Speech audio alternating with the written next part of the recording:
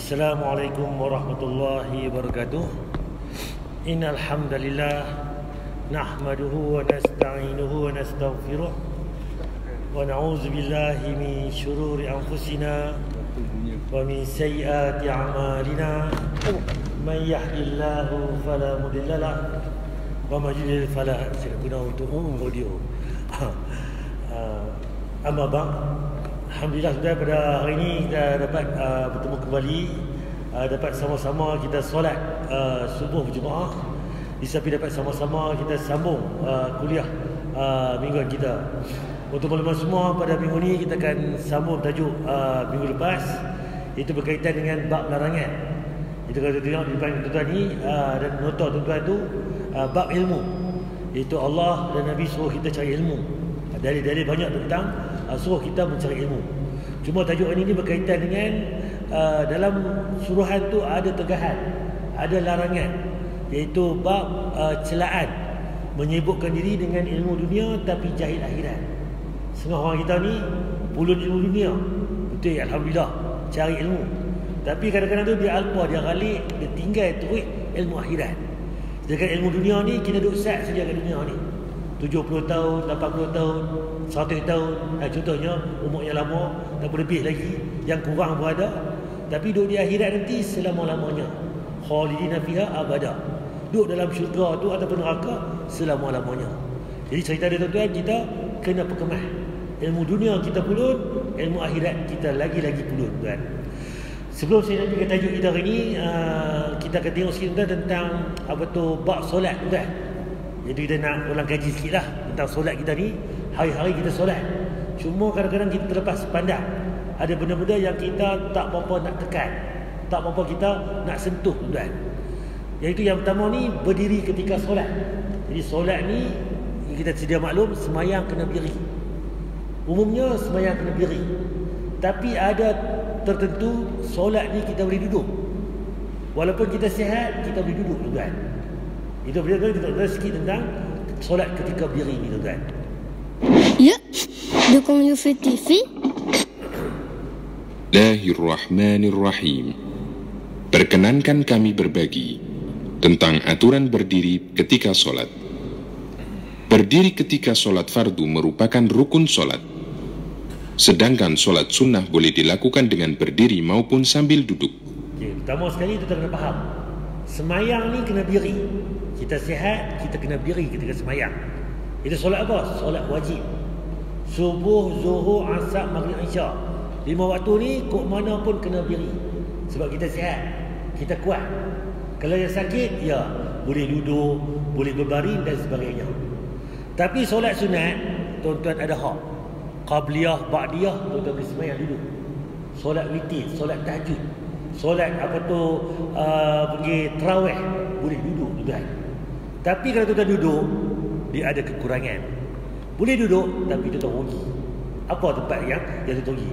Cerita beragama ni, apa hujah ni mesti balik pada qala Allah, qala Rasul. Allah kata apa? Nabi kata apa tentang ibadah kita ni? Orang yang mampu dengan mudah untuk berdiri tidak boleh solat fardu sambil duduk. Orang yang solat fardu sambil duduk padahal dia mampu berdiri, maka solatnya batal dan harus diulangi. Kalau kita sihat kuat, subuh hari ni ish aku malas ni nak semayang duduk. Boleh semayang duduk tapi tak sah tak dikira. Sebab apa? Tuan-tuan mampu berdiri.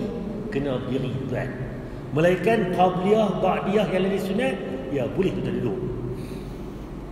Orang sakit yang masih mampu berdiri namun dengan susah payah boleh solat fardu sambil duduk. Tetapi jika berusaha untuk solat sambil berdiri maka pahalanya dua kali dari pahala solat sambil duduk ketika sakit. Rupanya tuan-tuan, kalau kita sakit, kita diberi rosak, keringanan. Solat duduk, solat tidur, solat berbaring dan sebagainya. Buat semampu kita. Tapi tiba-tiba orang tu sakit, dia usaha juga. Dia nak semayang berdiri. Contoh duduk kat awal, tiga hari. Hari pertama semayang tidur. Hari kedua tu, ish, aku rasa gagah ni. Walaupun darah rendah ni, duduk pening-pening-pening lalat ni pun, usaha semayang berdiri.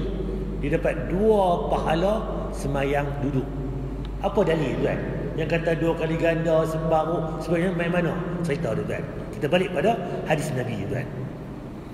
Solat sunnah boleh dikerjakan sambil duduk, meskipun orangnya sehat dan mampu berdiri. Hanya saja, solat sambil duduk pahalanya setengah dari solat sunnah sambil berdiri. Nabi Shallallahu Alaihi Wasallam bersabda, "Man shalla qa'iman, fahuwa afdal, wa man shalla qa'idan, falahu nisfu ajril qa'im, wa man shalla na'iman, falahu nisfu ajril qa'id." Orang yang solat sambil berdiri adalah yang paling baik. Orang yang solat sambil duduk mendapat pahala setengah dari yang berdiri. Orang yang solat sambil berbaring mendapat pahala setengah dari yang duduk. Hadis riwayat Bukhari. Hadis Bukhari. Apa Nabi beritahu di sini? Nabi beritahu orang yang semayang berdiri ni pahala yang baik. Baik, paling baik. Penuhlah masa kita. Dan orang yang semayang duduk pahala dia separuh pahala diri nak kita faham kita bubuhlah kata bagi mudah sate markah diri kalau semayang duduk separuh pahala diri berapa sate bagi dua lima puluh siapa semayang tidur berbaring separuh pahala duduk lima puluh tadi bagi dua pula dua puluh lima boleh tu kan dapat pahala tapi berbeza dia punya ganjaran-ganjaran dia jadi kalau boleh tu kan semayang berjemaah kita semayang berdiri lima waktu. Tapi kalau qabliyah, ba'diyah apa semua tu, tuan-tuan nak sembahyang duduk, silakan. Itu hak tuan-tuan. Tapi kelemahan dia, tuan-tuan dapat separuh pahala diri. Semayang tidur, separuh pahala uh, pahala duduk tuan. Cuma kalau kita uzur, sakit, tenat sebagainya, itu lain pula. Rusak dalam bab sakit. Ni kita yang sehat ni. Nak semayang duduk, boleh. Semayang berbaring pun boleh sebenarnya. Tapi pahala dia kurang, kurang, kurang. Separuh tadi berdiri separuh pahala ah, duduk tuan itu hadis Bukhari Bukhari untuk solat yang bacaannya panjang misalnya solat malam dengan membaca surat Al-Baqarah dibolehkan untuk berdiri sambil bersandar sebagaimana yang dilakukan para sahabat ketika melakukan solat tarawih di zaman Umar radhiyallahu anhu. Kalau solat malam tuan solat tarawih solat yang lain kan boleh kita sembahyang duduk. Semayang apa tu apa panggil bersandar kat dinding pun boleh tuan bersandar kat tiang pun boleh. Kau tengok nanti ya apa ni ni semayang ni bersandar pula boleh tak boleh? Memang ada tuan. Solat sunat ya zaman sahabat dulu ni sahabat-sahabat dia akan sandar kat dinding sandar dekat tiang kan cuma kita lah kan kalau tengok ni panggil tok imam luar ni hey, ustaz kita panggil tok imam luar semalam baca tarawih rakaat pertama baca panjang satu muka dua muka Hai, tolong abang saya kata imam yang kita jemput ni uh, esok ni malam esok baca pendek sikit. Dok tuan-tuan. Solat malam ni baca panjang, sunnah ni baca panjang. Tarawih, solat subuh contohnya panjang. Kan? Solat apa tu bangkit malam tahajud panjang. Apa buktinya? Nabi sendiri. Sahabat Ibnu Umar kan apa tu ikut apa Ibnu Abbas ikut Nabi sembahyang. Nabi baca surah Al-Baqarah. Dia kata mungkin Nabi nak rukuk pun ayat yang ke-1 Habis khatih Nabi tak rukuk lagi Surah Al-Baqarah ayat 289 200 lebih kan Habis Al-Baqarah Nabi tak rukuk lagi Sambung Ali Imran An-Nisa Tiga surah Satu Satu Satu rakaat Bayangkan berdiri lamanya Nabi Ketika solat malam Dan Kalau tu imam tu tuan Yang main kita jemput ni baca panjang Silakan baca panjang Kalau tuan-tuan tak larat Tak mampu Kita duduk tengah semayang Tengah-tengah baca semayang ni Duduk Boleh Itu hak tuan-tuan tapi kita lah malu. Pak Mat, Pak Loh kat depan ni 70, 80, 90 umur. Duduk berdiri relax lagi. Kita umur 35, umur 45, takkan nak duduk. Tu je saya tahu kan. Saya tahu dia kalau tak nak duduk, boleh, silakan. Tapi malu tak malu tu cerita lain. Tapi kalau tak duduk tu kan, pahala tadi bukan seperti pahala berdiri. Pahala separuh, pahala berdiri. Itu saja kelemahan. Itu tuan-tuan, nak letakkan balik apa amalan kita buat lah ni berbalik pada sunnah Nabi. Apa hujah Nabi? Apa dalil dia? Itu jawapan dia. Kalau tuan-tuan tak mampu, boleh semayang duduk. Semayang berbaring dan dan sebagainya. Bagi yang tidak kuat untuk berdiri lama ketika solat, dibolehkan untuk duduk di tengah-tengah solat. Orang yang solat sambil duduk dan tidak bisa untuk sujud di lantai, maka rukuk dan sujudnya dilakukan dengan isyarat gerakan punggung di mana posisi punggung ketika sujud lebih rendah daripada ketika rukuk. Jika tuan-tuan tak mampu nak sembahyang duduk, pastikan rukuk tuan-tuan rendah. Sujud tuan-tuan rendah daripada rukuk. Sebab sujud ni ke bawah. Jadi kalau kita atas kerusi pun, kita rukuk sikit bila sujud tu rendahkan lagi tepat daripada kita rukuk tadi itu perbezaan dia. Sama juga kan duduk atas apa tu lantai. Itu yang yang yang lebih tepat kan berdiri dan duduk ketika solat jamaah. Jika imam solat sambil duduk sejak awal solat maka makmum solat sambil duduk. Kan kukuk lah mai isu lusa ni tuan imam kita pi apa bendang kata kaki kena pekot. Kena apa? Parang kena apa tu duri ke apa kat insiden tak boleh semayang berdiri lama. Dia kena semayang duduk kalau imam hari itu semayang duduk daripada awal dia takbir dia duduk kita makmum kat belakang kena duduk bersama imam ustaz saya sihat saya kuat tuan imam yang sakit bukan saya dah imam untuk kita ikuti Imam duduk, kita kena duduk bersama imam daripada awal sampai habis. Sebab mula takbir tu dia duduk. Kita kena duduk bersama imam. Kita kuat ke sihat ke, itu lain cerita. Sebab imam untuk kita ikuti. Tu kes pertama tuan. Kes kedua tuan. Jika dari awal imam solat sambil berdiri, kemudian di tengah solat dia duduk, maka makmum tetap solat sambil berdiri. Kes kedua beza pula. Tuan-tuan semayang subuh ni contohnya, Semayang diri Imam Allah Akbar Berdiri clear. Rokat pertama pun clear. Mai rokat kedua tu Eh nak hitam ni. Dia darah hendak Dia kecil apa? Apa mai Macam-macam lah darah tinggi ke hendak ke. Eh nak pening hitam ni. Dia duduk tuan Imam duduk. Itu kalau imam duduk Itu hak imam Dia sakit Sebagai uzur Kita tadi semayang bersama imam berdiri Kita teruskan berdiri tuan Kau kau jadi tu kan? Eh, tak jadi tak apa. Kau jadi nanti. Eh, nak duduk ke nak berdiri? Ah, pening dah anak jemaah. Tapi ada jalan keluar dia. Kalau mula pada duduk, imam, duduk bersama imam. Daripada awal sampai habis. Kalau semayang awal tu imam diri, eh, tiba-tiba tengah-tengah imam duduk. Kita teruskan berdiri, buat macam biasa. Cuma kalau kes pertama tadi, imam sakit, jatuh motor, takkan nak seminggu nak semayang duduk. Sentiasa. Hari itu je lah. Kalau, kalau ada imam dua, imam tiga ke sebagainya, gantilah oleh pula. Itu dah jawapan dia. Itu tuan itu dalam peluang dia tuan. Orang yang solat sambil duduk boleh mengambil posisi duduk semampunya. Dengan rincian, jika dia masih mampu iftirosh atau tawaruk, maka dia harus duduk iftirosh atau tawaruk. Okey, cara duduk pula Nabi beritahu kalau kita tak boleh uh, semayang berdiri, semayang duduk. Semayang duduk pula macam mana nak duduk? Rincian yang, yang pertama, tuan-tuan kena duduk tahiyat awal. Iftirash. Punggung tuan-tuan duduk. Eh, macam biasalah duduk tahiyat awal tu, kita angkat kaki kanan, kaki kiri tu kita duduk di atas kaki kiri. Itu cara utama.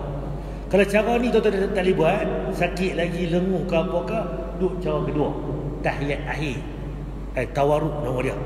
Kalau cara kedua ni tak boleh, baru tuan-tuan duduk bersila. Ustaz, saya dengar hadis tu ada Nabi kata Nabi semayang duduk bersila. Ya, sahih. Hadis tu Nabi semayang, Aisyah lihat Nabi semayang duduk bersila. Tapi bila tengok balik tuan-tuan rincian, sebelum bersila tu Nabi akan pilih duduk iftirash dulu ataupun tawaruk dulu. Apa bukti dia tuan-tuan dalil? Putra Ibnu Umar pernah melihat ayahnya solat dengan duduk bersila. Dia pun ikut-ikutan ayahnya dengan duduk bersila ketika solat, padahal dia masih muda. Melihat itu Ibnu Umar melarangnya. Duduk yang sesuai sunnah dalam solat adalah iftirash. Yang aku lakukan kemarin karena kakiku tidak kuat duduk iftirash. Hadis riwayat Bukhari. Ibnu Umar ni anak Umar, Umar Khattab, Umar ni semayang duduk bersila. Satu hari itu dia tengok ayah dia semayang bersila. Dia pun duduk belakang semayang bersila macam ayah dia. Habis semayang, ayah dia pesan dekat dia. Wahai anakku, kalau kau nak semayang, aku kemarin ni tak hidup apa tak hidup iftirash. Sepatutnya semayang ni duduk iftirash dulu. Kita baca tadi. Kalau tidak, kedua duduk tahiyat awal akhir. Kalau kedua tak boleh, baru duduk bersila. Jadi Umar hari itu dia tak boleh duduk betul iftirash, dia duduk tahiyat apa? Duduk apa tu tahiyat apa tu bersila. Jadi apa dia pesan anak dia? Lain kali kalau semayang duduk iftirash dulu. Walaupun aku ni duduk bersila, jangan lagi. Buat yang Nabi contoh dulu. Jadi bila kita belajar tuan-tuan, oh banyak yang kita tak tahu. Saya sendiri pun kalau saya tak ngajak tuan-tuan, saya pun tak jumpa. Kita pukul rata aja. Semayang ni duduklah, ikut dan duduk. Boleh duduk tapi dia ada peringkat-peringkat dia tuan-tuan. Hadis Bukhari. Jika tidak mampu duduk iftirash atau tawaruk, boleh duduk dengan cara apapun semampunya, seperti duduk bersila atau duduk di atas kursi. Jadi kalau tak mampu duduk apa tu iftiras, duduk tawaruk tahiyat akhir, duduk bersila, duduklah macam mana pun. Cuma isu kita ni macam mana pula duduk atas kursi? Boleh tak boleh? Ha, nak tanya tuan-tuan. Boleh tak boleh duduk atas kursi tuan? Boleh tak? Kita sakit ni. Jawapannya boleh, tak ada masalah. Sebab apa? Duduk semampu kalian. Eh, sebab apa dari tadi? Kalau tengok balik, Nabi beritahu tadi kalau cara pertama duduk iftiras. Tahiyat awal. Ni cara pertama. Kalau tak boleh, ada diri. Cara kedua duduk tahiyat akhir. Tawaruk kemudian. Cara ketiga tak boleh, yang kedua tak boleh, bersila. Duduk bersila pun tak boleh tuan. Duduk macam mana? Nak tunjuk ke, dua-dua duduk ke, nak kita sakit. Cuma di sini ada kursi. Ha, macam mana tuan? Kursi ni boleh tak boleh? Ada kursi. Boleh, tak masalah. Cuma di sini itu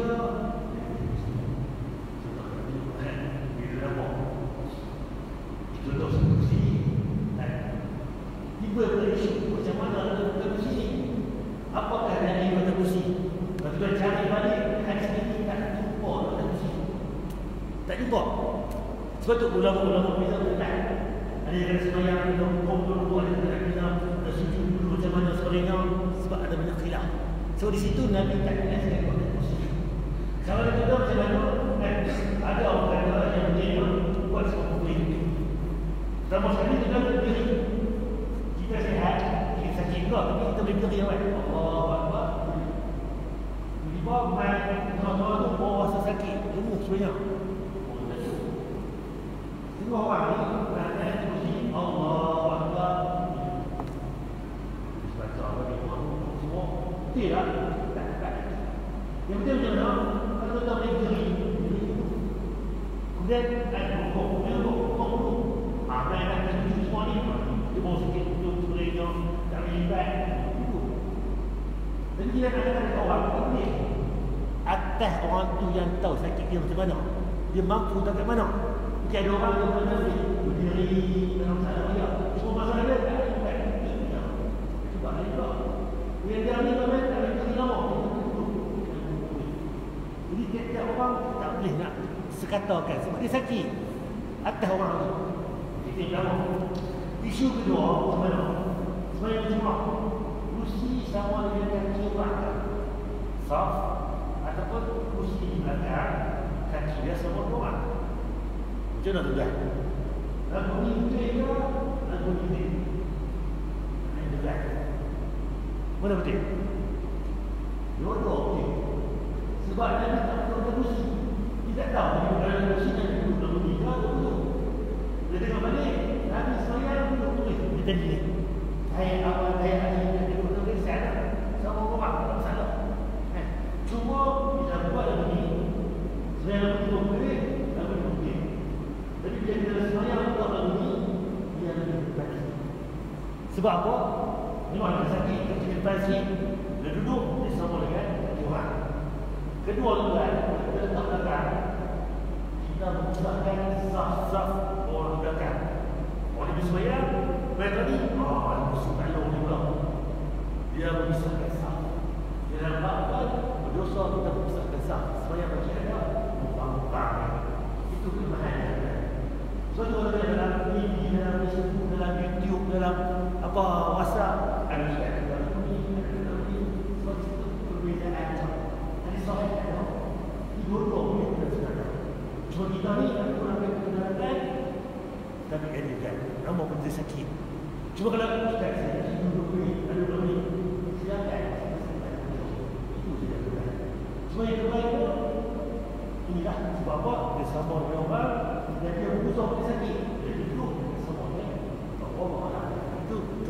kursi tu kan. Kita. Dari Aisyah radhiyallahu anha mengatakan, "Ra'aitu an-nabiy sallallahu alaihi wasallam yusalli mutarabbi'an." Aku melihat Nabi sallallahu alaihi wasallam salat sambil duduk bersila. Hadis riwayat An-Nasa'i dan disahihkan oleh Al-Albani. Aisyah sendiri tengok Nabi semayang duduk bersila. Ini hadis sahih kan? Jadi bila kita belajar, oh memang pernah tengok, dengar apa, Nabi, ada Nabi semayang duduk bersila.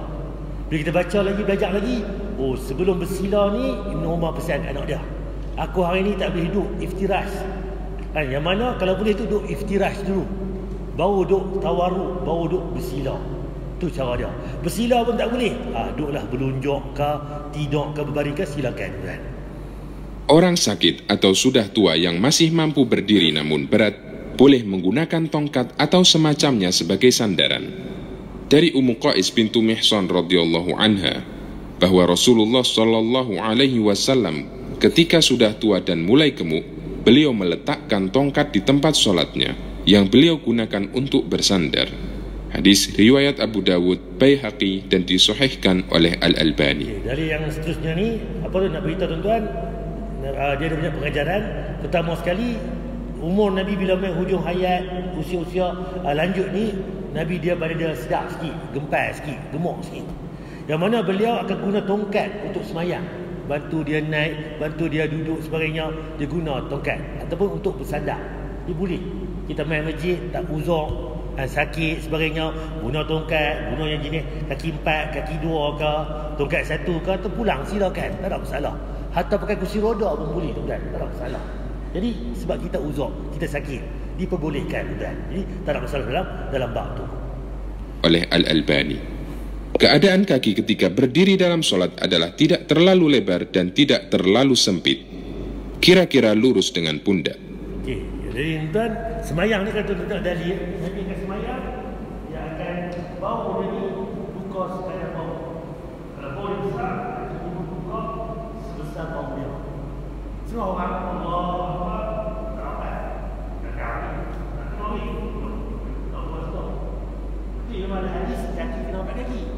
tapi kalau dia dalam dalil kan dia perlu kena bau bau bertemu bau sama bau bau bau bau bau kaki buka sebesar bau buka dia keluar itu jawapan dan dia buat itu pun jawab sebab kawan buat itu hijau tahu kena dia nampak dia buat ini lagi dia jawabkan kosong kan tak tepat dia cerita dia pergi semayang dan berlebur-lebur kedua sebelah bawah kita kerja rendah kerja bila sendiri dia mungkin sadar kuat. Dia ada kerja rendah Allah lepas sikut sebelah tak tepat dia dia kena berlebur ni untuk orang kita berlebur sebelah semayang dengan Allah kan kita semayang dengan kelas kuat. Untuk pergi apa buka sesama dan kaki tu kan dia bukan ni saya dulu risau semayang tu ayah buat buat buat buat buat. Kan Allah tu ingat jadi semayang kan baru dia boleh apa kalau cerita kan mau sejajar?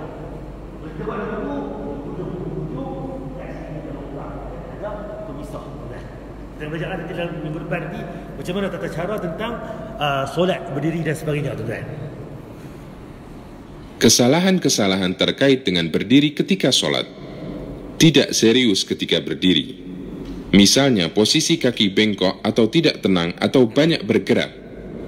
Tentu saja ini sangat mengganggu dalam sholat. Ha, kalau bergerak lebih ni memang mengganggu. Bahkan Imam Syafi'i ni nasir sunnah. Ha, dia pegang betul sunnah Nabi tu kan. Sebab dia kata bergerak lebih tiga kali berturut-turut ni batal semayang. Sebab dia tahu hadis Nabi kata apa? Jangan kita buat perbuatan yang tak ada dalam semayang. Itu hujah dia. Jadi semayang ni kena ikut. Takbir saja sampai bagi salam. Kena ikut apa yang dicontohkan oleh Nabi. Cuma kalau kita kata itu garu lah. Tapi janganlah kita sampai garu sana, kiri kanan sebagainya. Mengganggu orang semayang. Batas semayang tu sebenarnya. Dan tapi nak kata pula, Ustaz adakah tiga kali saja garu pergerakan batal-batal? Tak. Kalau kita ada keperluan, boleh. Contohnya Nabi sendiri bila semayang, isteri dia balik daripada rumah. Balik-balik rumah, isteri dia pintu tutup. Apa Nabi buat? Nabi tengah semayang, dia berjalan pergi ke pintu, buka pintu dan sambung balik semayang. Berapa langkah Nabi berjalan? Berapa pergerakan? Lebih banyak pergerakan. Sebab apa? Ada keperluan. Jadi kalau ada keperluan tu, ya dibolehkan. Jadi bukan kata larangan keras, kata tak boleh langsung. Cuma ha, tu garu kepala, angkat kepiah pula, tengok remoy, tengok kuku pula. Ha, kacau. Lagu tu bantai semayang tu kan. Ha, itu yang yang dikatakan bantai semayang. Allah berfirman, "Waqumu lillahi qanitin." Berdirilah kamu dengan tenang karena Allah. Quran Surat Al-Baqarah ayat 238 Kaki terlalu lebar atau terlalu sempit Nampak tuan? Kaki ni ada biasa, ada sedang, ada kecil sangat. ada besar sangat, ada yang tak rapat, pelbagai saiz. Nampak? Sepatutnya bau bertemu bau. Nampak dia buka besar, kawan dia pula handphone. Kawan dia ni kan besar bau, boleh buka besar. Tapi dia hippie pula. Nampak? Tak tepat, tuan. Yang tepat macam mana, tuan? Posisi kaki yang terlalu lebar akan mengganggu orang lain ketika sholat jamaah. Sedangkan posisi kaki yang terlalu sempit Kalau sempit sangat pula, nampak? Dia boleh sempit-sempit lagu tu, dia ada celah-celah kosong. Ini akan iblis syaitan yang kacau kita, tuan. menyebabkan soft ketika sholat renggang. Karena soft yang baik adalah pundak bertemu pundak di sebelah kanan dan kirinya. Dan kaki bertemu dengan kaki orang yang berada di sebelah kanan dan kirinya. Semoga Allah memudahkan kita untuk menyempurnakan setiap ibadah kita. Tuan, semayang tuan nampak saf, rapatkan saf, lurus, elok, cantik. Bau bertemu bau dulu. Kaki buka sebesar, bau. Nampak? Kalau bau dia besar, besarlah buka dia. Bau kecil, kecillah buka dia. Dan ada dalil tu kan, saf ni seperti saf para malaikat. Sama, lurus, lurus, lurus. Nampak tuan? Ini tentang solat ketika berdiri. InsyaAllah tu dalam nanti, nanti ke depan-depan nanti Setiap kali sebelum nak ke kuliah tajuk betul ni Saya akan selit tentang babak solat Daripada takbir awal sampai bagi salam Takbir pula ustaz tengok ada orang Allahu Akbar disebut serentak Main masjid ni imam kata Allahu Akbar sebut Baru angkat Ada masjid ni pula Angkat dah letak Allahu Akbar Mana-mana tuan Betul semua kah? Salah semua kah? Kita tengok balik, cek balik Ada dalil tak Nabi buat tu? Kalau ada, ya betul tuan Tangan pula Ada yang letak di atas tapak tangan. Ada yang menggenggam Ada yang letak di hujung Ada yang macam-macam jenis. Ada yang letak di atas dada Letak di atas pusat Letak bawah pusat. Tak letak terus ha, Mana-mana tuan. Kita akan belajar nanti Oh demikian. Ini tata cara pertama Ni hadis kedua Ni hadis ketiga. Masih ada hadis dalil tuan-tuan? Kita boleh kata salah. Tapi kalau tak ada dalil tuan-tuan Dia buat ikut suka dia. Salah terang-terangan tuan kita nak semak balik tentang macam manakah sifat yang terbaik yang kita tengok contoh Nabi bawa kepada kita tuan-tuan. Ini tentang berdiri ketika solat. Kita pergi tajuk ini tuan-tuan iaitu uh, bab hadiah ilmu celaan menyibukkan diri dengan ilmu dunia tapi jahil akhirat. Uh, sebelum tu tuan-tuan ada tuan nak tanya orang tentang tadi tentang bab diri tu. Banyak bab sembahyang ni memang banyak tapi cuma hari ni fokus tentang berdiri. Kalau boleh lima waktu tu berdiri. Wajib berdiri kalau kita kuat, kita sihat. Kalau sakit baru duduk.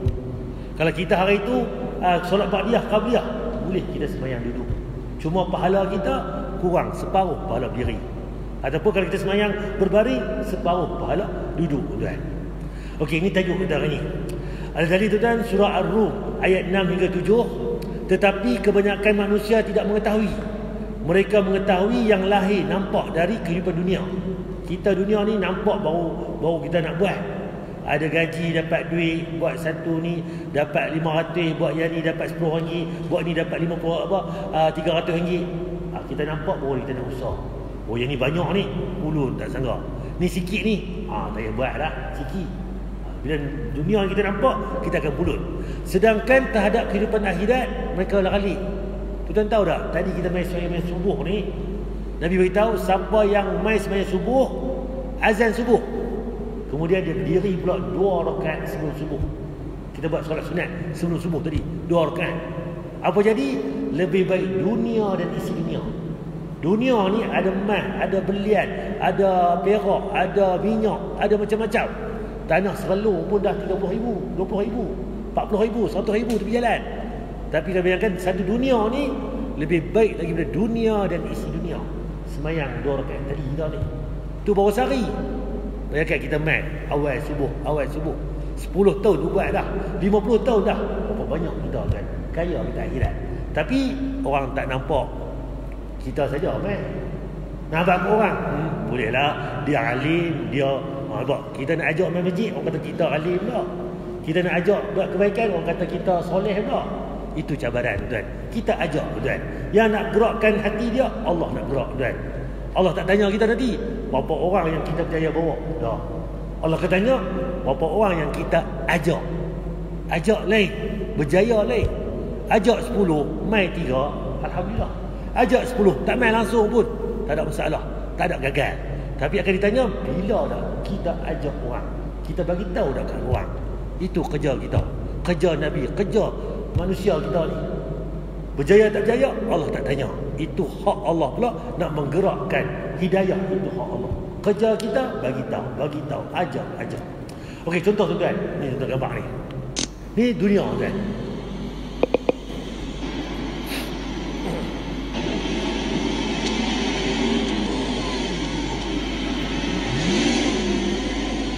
Ni tuan di mana ni di luar negara dekat negara jiran kita iaitu di mana ni apa tu ni apa tu apartment ataupun rumah. Yang mana balik kerja kan? Biasalah kena tengok. Ni apa tu banyak kereta hebat. Kalau kat Malaysia ni Ferrari Lamborghini ni 1 juta 2 juta harga dah tu SCY 1E Singapura kan? Kereta kaya kita tahu. Semua orang tahu. Dia duit banyak. Dia dia lah. Cuma saya tunjuk tuan-tuan di sebalik kaya tu ada yang lebih hebat lagi tuan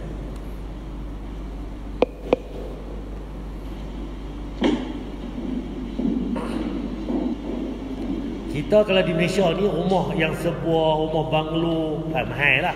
Duduk rumah flat rumah uh, banyak tingkat ni murah murah sikit. Tapi kalau orang kaya ni rumah tinggi lagi tinggi apartment kondominium lagi mahal. Lagi atas ada penthouse lagi mahal tuan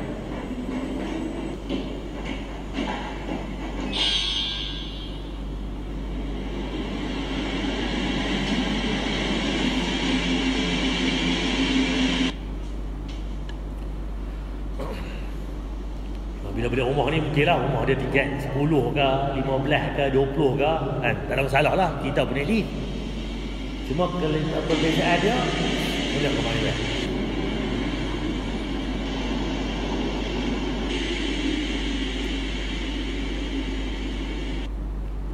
Kalau tuan tu rumah dia tingkat 15 Dia tekan nombor 15 dia naik nombor 15 Dia sampai rumah dia tingkat 15 Kereta pun sampai tuan Bukan sebiji, dua biji, tiga biji. Banyak tuan. Mana bang tuan? Elok malam dapat nasi, dapat cendol pulut ke, dapat nasi kandang, hani ke apa ke, pergi kangak.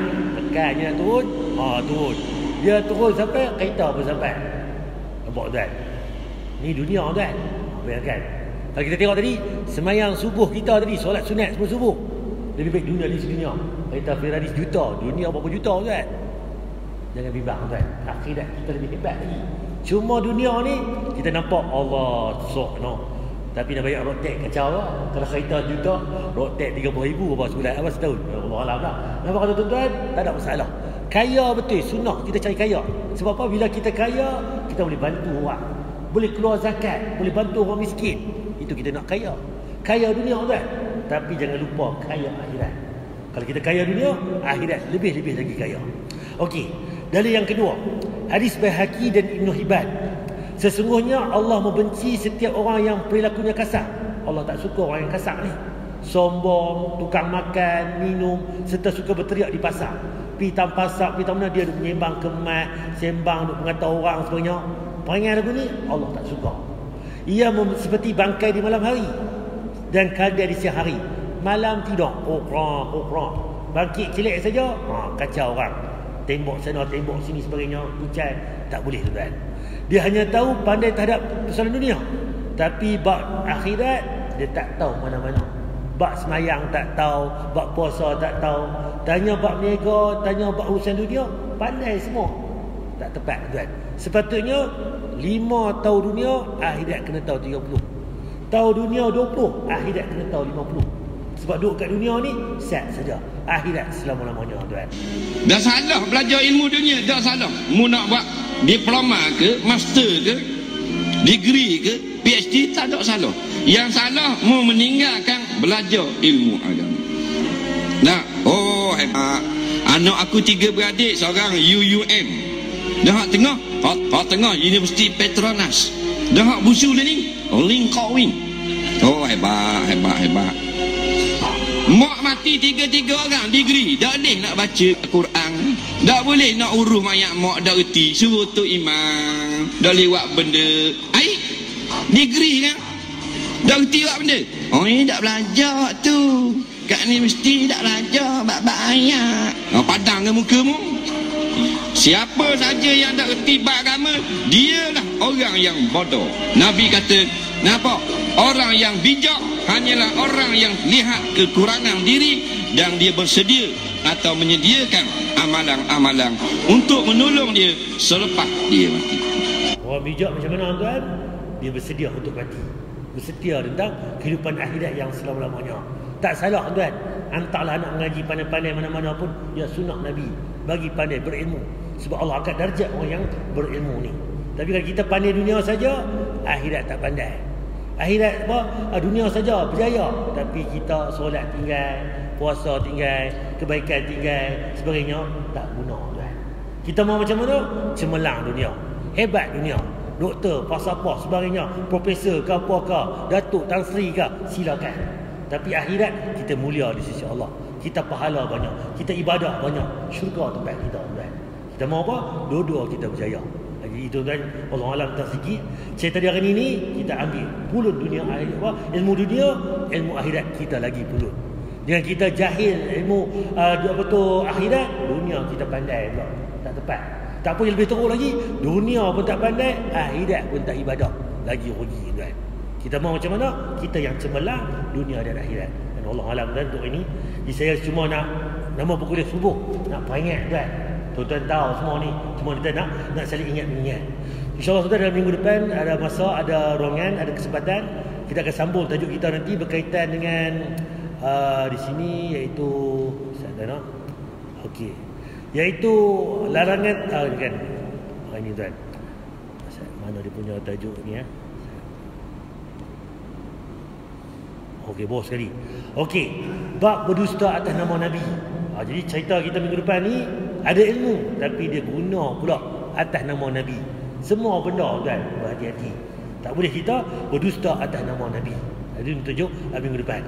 Jadi saya harap tu kita ajaklah kawan-kawan kita, adik-beradik kita, sahabat handai je tetangga mai ke masjid, dan marah ke masjid, kita tingkatkan ilmu, banyak ilmu tuan, supaya kita ni selamat dunia dan dan akhirat tu insya-Allah. Ada tuan tanya apa tu tajuk ini tuan? Ada tak? Boleh tuan jelas tak? Insya-Allah. Kenapa saya berhenti dengan ni insya-Allah. Bihamdika astaghfiruka wa ilaik. Assalamualaikum warahmatullahi wabarakatuh.